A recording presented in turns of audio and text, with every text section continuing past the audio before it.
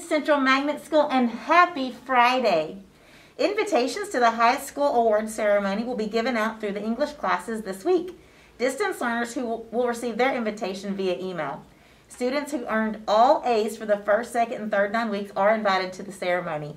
The ceremony will be Tuesday, May 25th at 9 a.m. It will be live streamed and recorded for families and friends to view. Honor Roll Awards will be distributed by first period teachers on Friday, May the 21st. And if you have questions about any of these high school awards, please see Dr. Hines. Students, remember to stop by the attendance office if you plan to get your driver's permit this summer. You must have the required SF 1010 form when you go get your permit. So please get that from attendance. Rising seniors, it's a reminder that your senior pictures should be taken over the summer at the Loveless Studio. Call to set up your appointment. The number is 615 890 1558.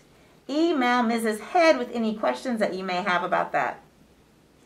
If you are needing to get your yearbook, the remaining yearbook is in the front office. Please go by and get that if you have not done so yet. That's your announcements for the day. I hope you all have a fantastic Friday at Central.